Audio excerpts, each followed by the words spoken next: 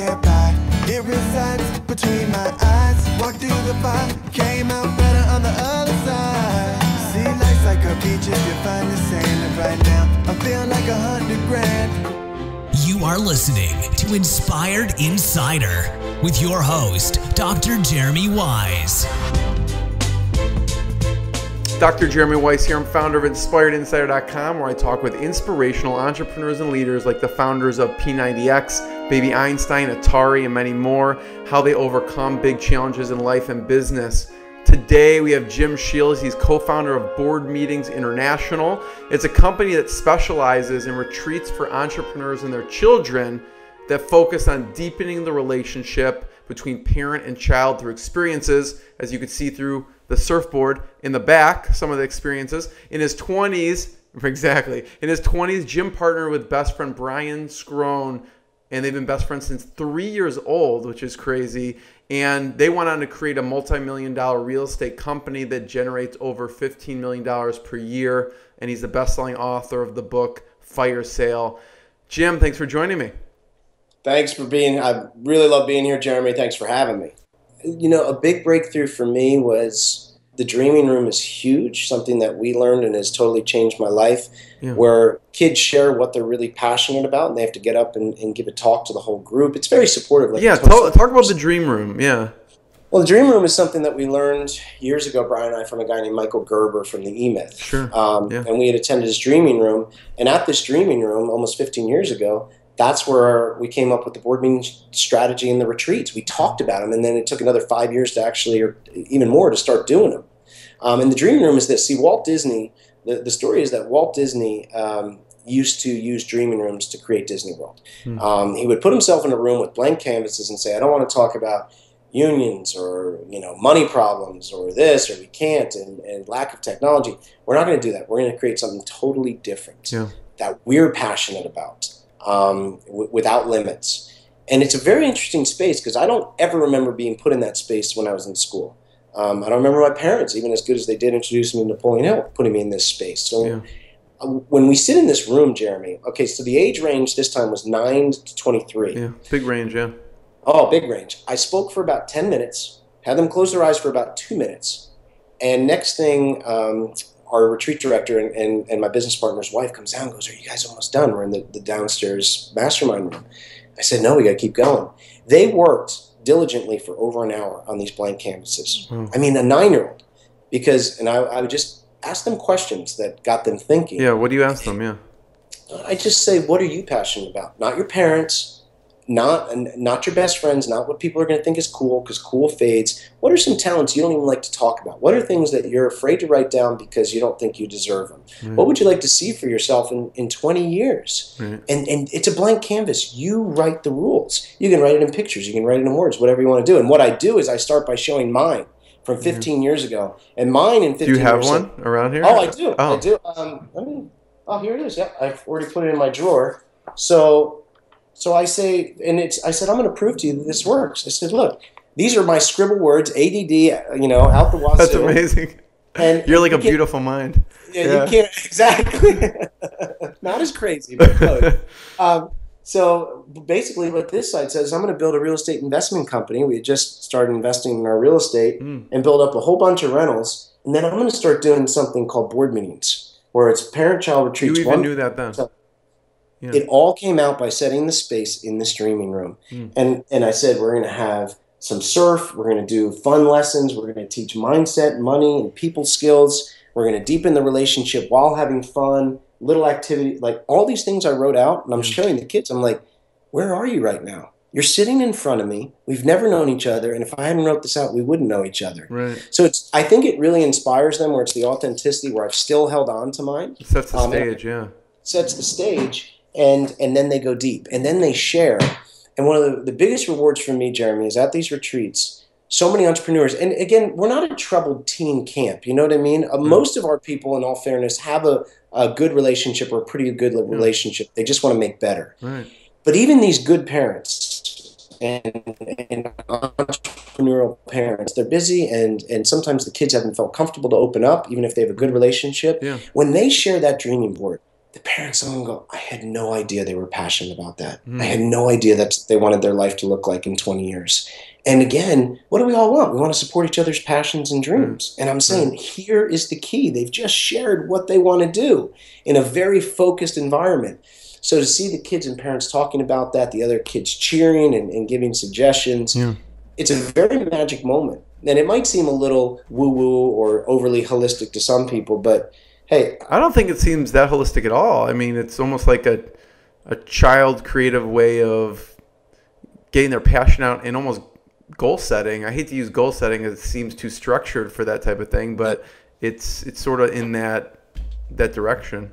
Yeah, and I think and goal setting is important, but again, too many people set goals that aren't their own. Yeah. Um, and this gets to what are you passionate about? I'm real clear on that. I said I don't I don't care what your parents want.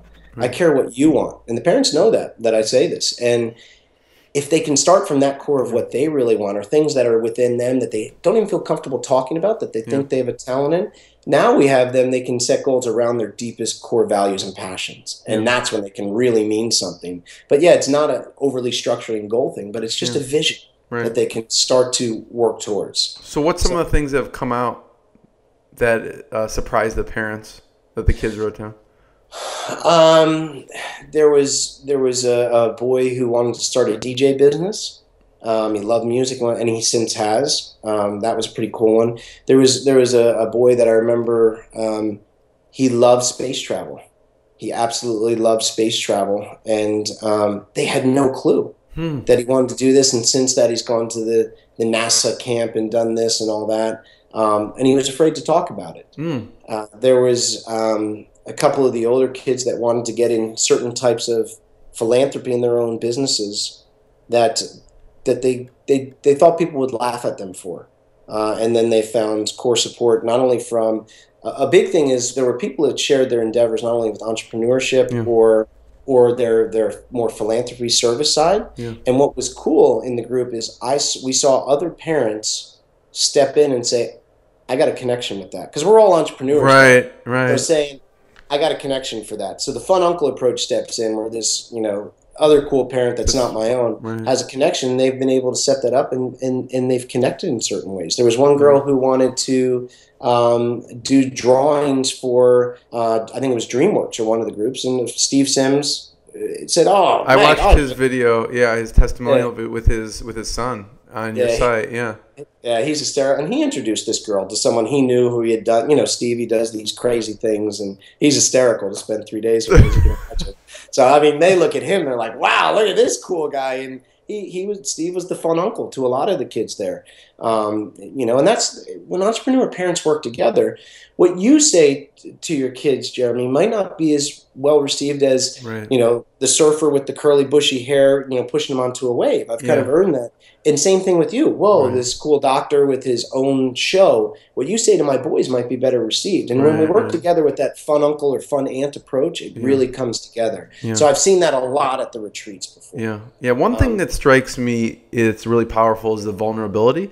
How do you get them to open up like that? Obviously, you're actually really good at that, just opening up and, you know, being authentic is not really the right way to put it, but and same thing with what you need these kids to open up to really see what they're passionate about. How do you foster that vulnerability and get them to open up?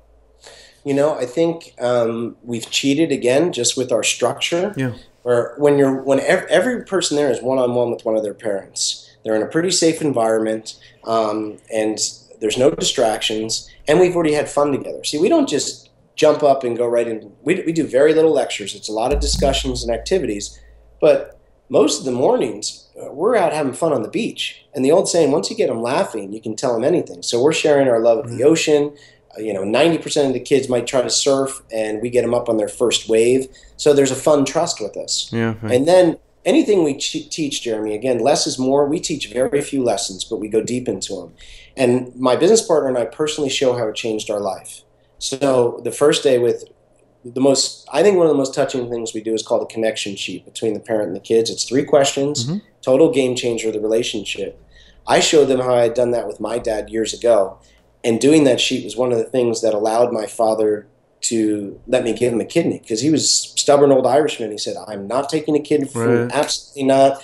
And that connection sheet, honestly, Jeremy said, "Look at what I value in my life. If you don't let me do this, you're not letting me live on purpose." Right, right. Um, so I was almost able to use it in a good way to do something very special. And I think when you put it in there and, and I challenge them, we, we're good at challenging. To say, look, you can go light on this, or you can go deep. Um, it's up to you. But here's what happened when I went deep, and and they step up. I, I just I hear all these things about teens being selfish and obnoxious, and sure they can be, but you get them in the right environment, man, can they shine? So I think we just the environment and the fact that we step first and we personally show them, hey, we're not just making you do this to do this. We've done it. Here's what it did for us. Mm-hmm. You know, and we haven't talked that much about the real estate business at all.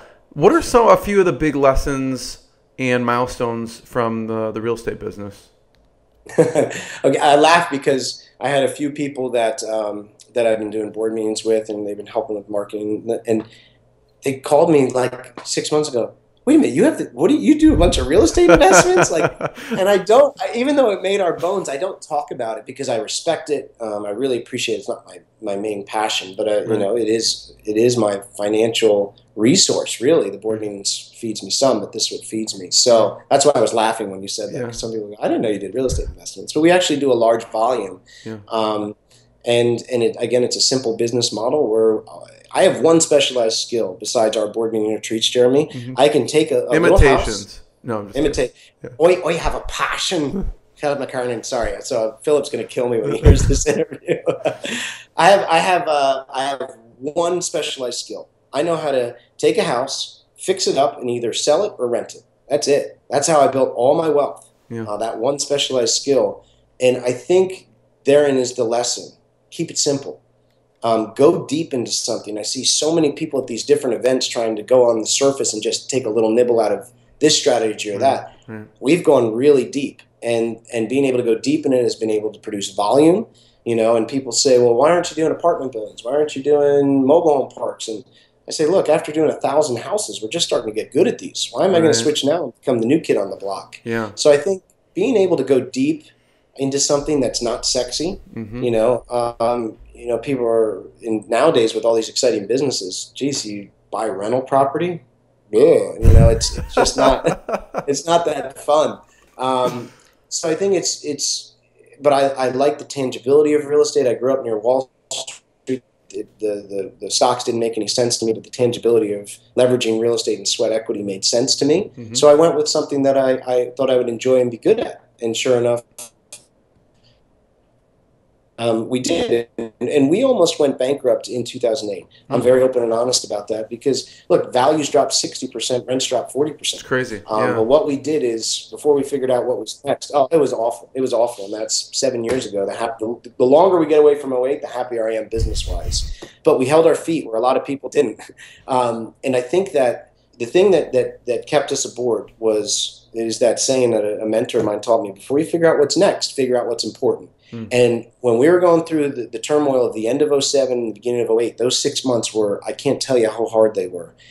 We it, it no longer was about me and my business partner. We made a decision to say we are going to protect our investors through this. Mm. that became our goal. Most of them were close family and friends we said we don't know how but we're going to do that. If i had not changed it to evolve to that higher level we would have gone bankrupt. Because to keep my own my own luxuries and that it was just too painful. I could have rebuilt so tying to you had a something that- higher, you had a higher purpose. higher purpose. Yeah. And that really helped us. And not only did it help us, but that word spread about our integrity. And then a lot of other people who wanted to get in because the market had dropped so quickly came to us to say, We know you guys can be trusted. We know you're honest. We want you to help us find investment property. Uh, can you do it? And so we were able to go through a lot of pain, but then also start to rebuild just by Yeah. keeping our feet and doing Yeah. the right thing. One big lesson, Jim, that sticks out for me when I uh, read and listen to your story is the Mr. Bill lawyer story. Um, yeah, that was a good one. That you you didn't take that advice, Yeah, yeah. So everyone's going to have a Mr. and you were Bill. young there. So I want you just to talk about that because what what was going on in your or what happened? What was going on in your mind that you that you didn't take that advice?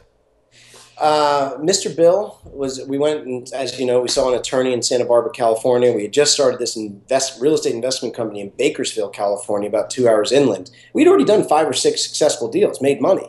Um, we said, okay, time to get corporate structure, and he was referred. We went in, and we started to explain to this very distinguished attorney. I mean, his his desk was worth more than my car easily. His suit was worth more than my car. You know, I, I'm in my little quicksilver khakis, thinking I was all dressed up, and I felt. I mean, I felt not dressed up. Uh, and as me and my business partner started to passionately explain what we were doing, he just held his hand up, started to laugh at us, and and then he went into a very disciplined, documented argument, like an attorney will, of all the reasons our business was going to fail. He, and, and he ended it with saying, "Now I don't want to disappoint you boys, but I think you'll be back to waiting tables in a couple weeks." Right. Now I, I wasn't even a waiter at the time, but I guess I looked, you know, at a waiter looked to me, um, and uh, and I think what it was, Jeremy, is is I had done my homework. I had been really studying hard into this. I listened to the simple numbers um, that we were taught. We had gone to some experts in it, and I was able to look at first off, had he done any real estate deals? Had he done any real estate deals in Bakersfield, California? Was he the butcher telling me, you know, how to bake bread? Right. Like I like to say, don't let a butcher tell you how to bake bread Right. ask ask the baker and um, and really i think the thing that was our biggest strength is we've already done a half dozen deals and they've made money Right. so what, what scares me about that story jeremy it's a great story because we did overcome we said we're not going to listen to you know the butchers tell us how to bake bread anymore was if i hadn't done those five or six deals before i went to see mr bill would i have kept going Right. and i don't i don't know um, i Yeah. don't know the answer but uh, You validated it. Yeah. we did. We validated it. So it's everyone is going to have a Mr. Bill. Yeah. We have to be very careful of opinions, Yeah. especially expert opinions from a person who is not an expert in a certain area. Right. You know, tell them tell them to pound sand. You know, politely and and move on. Uh, go to the experts. Right. You know, I love that story, and I love that because it's all about taking advice. Who you take advice from, how do you take advice, and it could be someone who really cares about you and loves you. It could be someone close to you who's giving advice who's maybe not the expert and doesn't have experience with it. So I loved hearing that, even from a young age. You guys just started, and the lesson learned there. Um, yeah. Jim, I appreciate your time. This has been fantastic. Um, I could I could keep you for another hour, but I'm not going to. Um, but I have one last question, and before I ask it, just tell people where can they find out more, where the shade we should be pointing people towards to check out. Yeah, I mean, again, I think to, uh, our goal is to see at least a million entrepreneurs using the board meeting strategy because I think it can change them.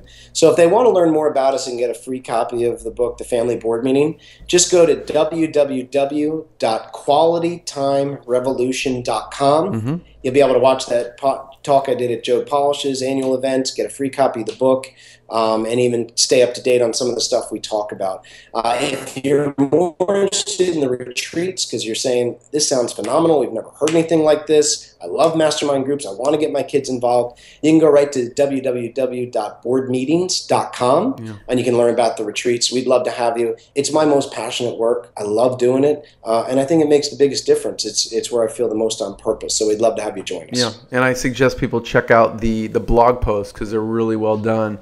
Um, so, Jim, my last question is, you know, you've had a lot of success in business and life, and what's been one of the proudest moments for you? You talked about him, Jeremy. I mean, donating a kidney to my dad, no one can ever take that from me. That was that was a tough decision. I could have walked away and had every excuse not to do it, um, but I did it. Uh, adopting my boys, um, pinnacle, pinnacle. I mean, most people are like, "Oh, that's the guy who cries on stage," because I just I get so emotional.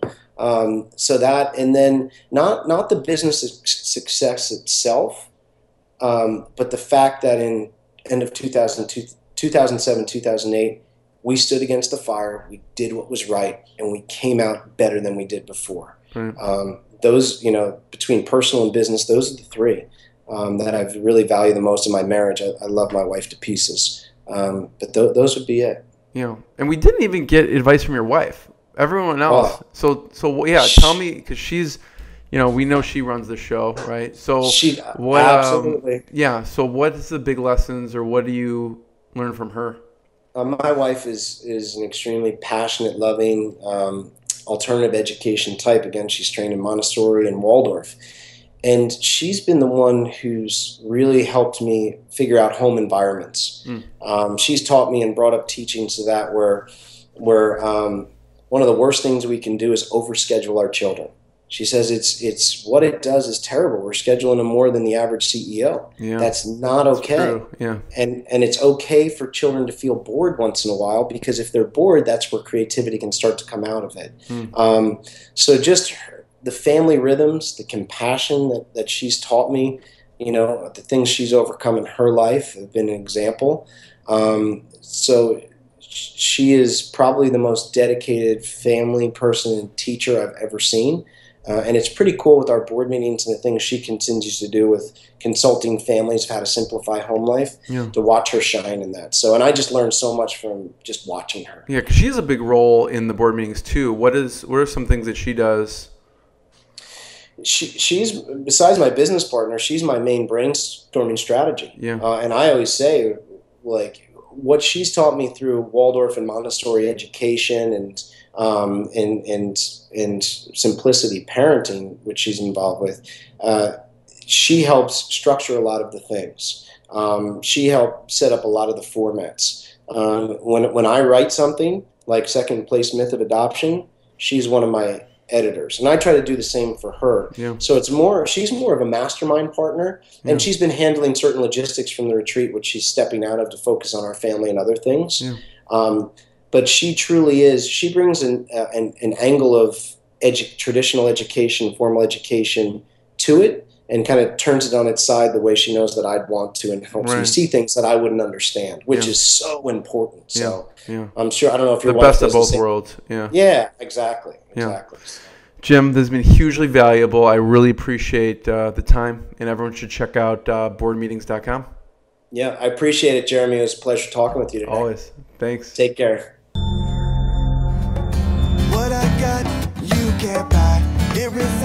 Between my eyes. Walked through the fire, came out better on the other side.